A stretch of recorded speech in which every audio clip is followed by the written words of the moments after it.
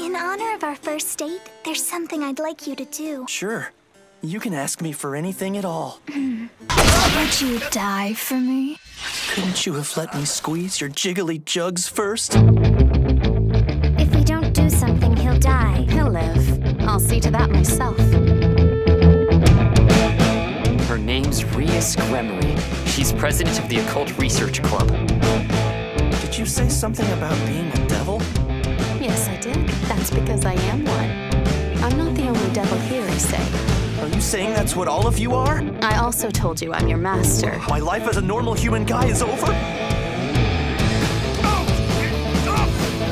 We're gonna win this. Yeah, you're damn right we are. See you on the flip side. Explosion! We'd like to officially welcome you into the Occult Research Club. I'm gonna have a harem!